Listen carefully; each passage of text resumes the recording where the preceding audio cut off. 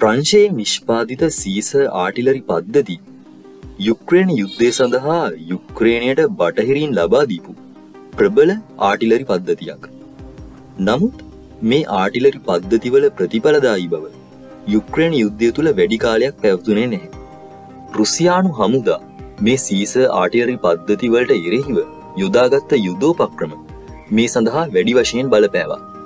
ඒවගේම තමයි මේ වන විට යුක්්‍රේණය මුහුණ දෙන උන්ඩ හිඟියත් මේ සීස ආටිලරි පද්ධතිවල ප්‍රතිඵලදායි බව අඩුවෙන්න හේතු වෙලා තිබෙනවා. සාමාන්‍යයෙන් යුද්ධයකදී තමන්ගේ හැකියාවන් සහ දුර්වලතාවන් හඳුනා ගැනීම වගේම ප්‍රතිවිරුද්ධ පාර්ශවේ හැකියාවන් සහ දුර්වලතා නිසි අයුරින් හඳුනාගෙන යුදබිමේ බලතුලනය නිසියාකාරයෙන් පවත්වාගෙන යාම අනුව වාසි අත්වන්නේ මොන පාර්ශවයටද කියනක තීරණය වෙනවා.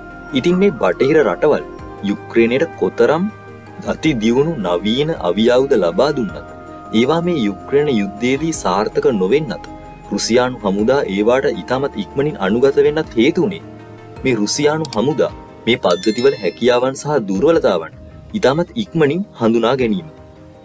ඉතින් අද වෙන විට මේ ආටිලරි පද්ධතිවල තාක්ෂණයන් හා භාවිතයන් විශාල වෙනස්කම්වලට වගේම වැඩිදිමු කිරීමට ලක් වෙලා තිබෙනවා. ඉතින් මේ ප්‍රංශයේ නිෂ්පාදිත සීස හොවිට්ස පද්ධතියත් නවීනතම තාක්ෂණයට අනුව නිෂ්පාදනය වෙච්ච මේ රුසියානු පැරණි ආටයරි පද්ධතිවලට වඩා ඉතාමත් දියුණු අවියක්. ඉතින් මේ අවියෙන් යුක්්‍රේණ හමුදාවන්ට කොතරම් වාසිදායක තත්ත්වයක් පැවතුනත් අද වන විට රුසියානු හමුදාවල් උපක්‍රම මේ පද්ධතිය යුක්්‍රේණ යුදබිමේ සම්පූර්ණයෙන්ම පරාජය කරන්න සමත් වෙලා තිබෙනවා. ප්‍රසිෂන් මියනිෂන් යොදාගෙන අතිශය නිරවත්‍ය ප්‍රහාර සිදු කරන්න පුළුවන් මේ අවිය. විශාල වශයෙන් ඩොන්බාස් ආශ්‍රත සටන්වලදී යුක්්‍රේන් හමුදා භාවිතා කළා. ඉතින් මේ රුසියානු උපක්‍රම ගැන කතා කරන්න කලින් මේ සීස පද්ධතිය ගැන කතා කරනකොට කැමියන් ඉක්විබ්ඩන් සිිස්ටම් ආටිලරි කියන ප්‍රංශ නාමය කෙටි කරලා තමයි මේ පද්ධතියට සීස කියලා නම තියලා තියෙන ප්‍රංශයේ නිෂ්පාදිත මේ පද්ධතියේ භාවිතා වෙන්නේ මිලිමීටර් එකසිය පනස් පහ පනස් දෙක කැලිබ සෙල්ෆ් ප්‍රොපෙඩ් හොවිට්ස අවියක්. විශේෂයෙන් මේක ප්‍රංශ අවියක් නිසා නේටෝ ස්ටෑන්ඩඩ් එකේ ආටිලරි උන්ඩ යොදාගෙන පහර දෙන්න මේ අවියට හැකියාව තිබෙනවා. ඒ වගේම තමයි මේ අවිය සවි කරලා තිබෙන්නේ 6x6 හෝ 8x8 ට්‍රක් චැසියක. ඉතින් වඩාත් පහසුවෙන් මේ අවිය යුදබිමේ අවශ්‍ය ස්ථානයේ ස්ථානගත කරන්න හැකියාව තිබෙනවා.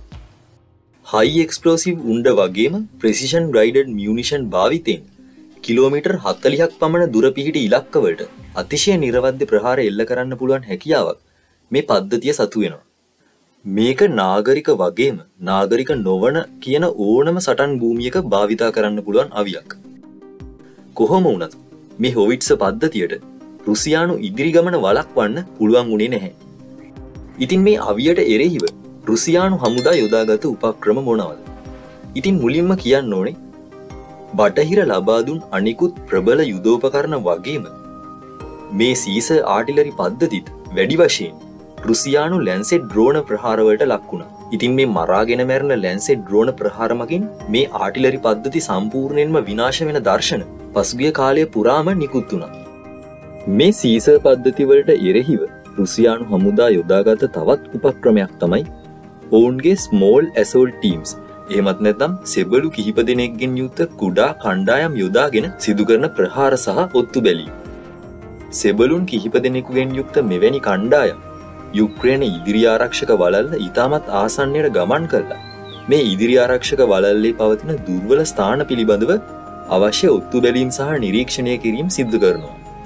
ඉතින් මේ අතරතුර මෙවැනි සීස පද්ධති මේ ඉදිරි ආරක්ෂක වලලු ආසන්නේ පවතින විට මේවා නිරීක්ෂණය කරන මේ සෙබලුන් මේවාට ප්‍රහාර සිදු කිරීම හෝ අවශ්‍ය ආධාරක විඩිබලය නිශ්චිත ස්ථානයට අරගෙන මේ සීස පද්ධති විනාශ කර දැමීම සිද්ධ කරනවා.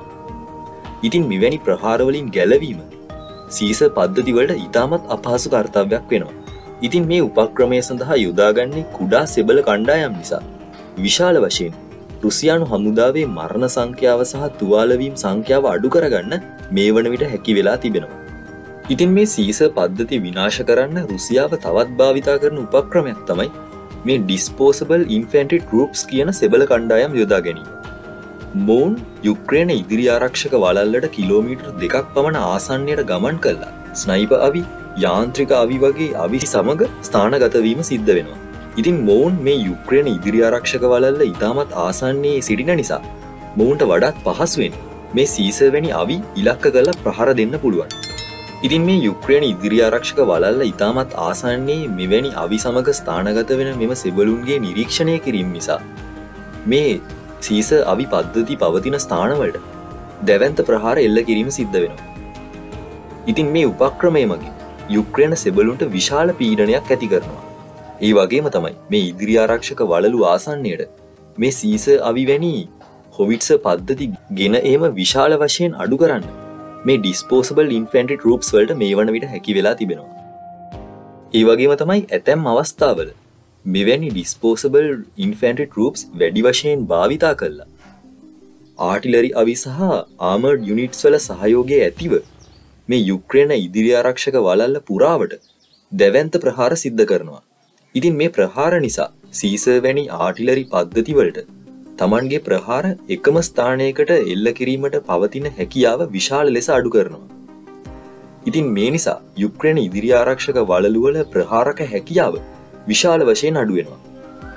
ඉති මේ රුසියාවේ ඩිස්පෝස්බල් ඉන්ෆෙන්ට්‍ර යුනිට් සහ ආමඩ් යුනිට් අතර පවතින මනා සම්බන්ධී කරණය නිසා මේ වන විට යුක්්‍රේණ ඉදිරි ආරක්ෂක වලලුවලට දැවන්ත ප්‍රහාර වඩාත් පහසුවෙන් එල්ල කිරීම සිද්ධ වෙනවා.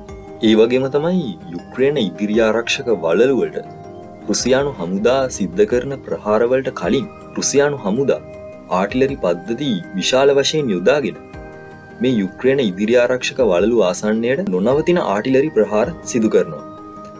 ඉතින් මේ නිසා යුක්්‍රේණ හමුදාවන්වලට තමන්ගේ සීස ආටිලරි පද්ධති මේ යුක්්‍රණ ඉදිරි ආරක්ෂක වලලු ආසන්නයට ගෙන ඒම ඉතාමත් අපහසු කර්තාවයක් බවට පත්වෙනවා. ඉතින් මේ ආවරණ විඩි බලයත් සමඟ රුසියානු හමුදා යුක්්‍රේණ ඉදිරි ආරක්ෂක වලලුවට ප්‍රහාර සිද්ධ කිරීම සිදුවෙනවා. ඒ වගේම තමයි රුසියානු හමුදා මේ වන විට මේ සීස ආටිලරි පද්ධතිවල ප්‍රහාර මැඩ පවත්වන්න යොදාගන්න තවත් උපක්‍රමයක් තමයි මේ ඉන්ෆැන්ට්‍රි මෝටාර්වල ආවරණ විඩිබලය සමඟ තමන්ගේ සෙබලුන්ව ඉදිරියට ඇවීම. ඉලක්කගත ස්ථානයට තමන්ගේ සෙබලුන්ව ඇතුල් කරන්න කලින් මෙවැනි ඉන්ෆැන්ට්‍රි මෝටාර් වැනි ආවරණ වෙඩිබලයක් ලබා ගැනීම මගින් යුක්්‍රේණ හමුදාවන්වට තමන්ගේ ප්‍රහාර නිශ්චිතව ඉලක්කගත කරන්න නොහැකි වෙනවා. ඉතින් මේ වන විට රුසියානු හමුදා තමන් සතු දැවන්ත ආධාරක විඩිබලය යොදාගෙන මේ යුක්්‍රේණ ඉදිරිආරක්ෂක වලලුවට එල්ල කරන දැවන්ත ප්‍රහාර මගින් මේ යුක්්‍රේණ ඉදිරිආරක්ෂක වලලුවල විශාල ලෙස නොසන්සුන්කාරී බවක් ඇති කරනවා. ඉතින් මේ වන විට විශාල වශයෙන් උන්ඩ හිංගයකට වගේම පිරිස් බලය මදිකමකට මුහුණ පාලා ඉන්න යුක්්‍රේණ හමුදාවන් වල චිත්ත දෛරය විශාල වශයෙන් විදවට්ටන්න මේ ප්‍රහාරවලට හැකිවෙනවා. ඉතින් මේ රුසියානු උපක්‍රම ප්‍රංශයේ නිෂ්පාතිත සීස අවි පද්ධතිවලට වගේම මේ බටහිර ලබාදීපු බොහෝ අවිවල ප්‍රතිබලදායි බව විශාල වශයෙන් මේ වන විට අඩු කරලා තිබෙනවා. ඉතින් යුක්්‍රේණ යුද්ධය සහ ඊශ්‍රායල හමාස් ගැටුමේ නවතම තොරතුරුත් එක්ක නැවතත් හමුවීම. මෙවැනි වීඩියෝ නැරවීමට අපගේ චැනල් එක අදම සබස්ක්‍රයිබ් කරල තියාගන්න.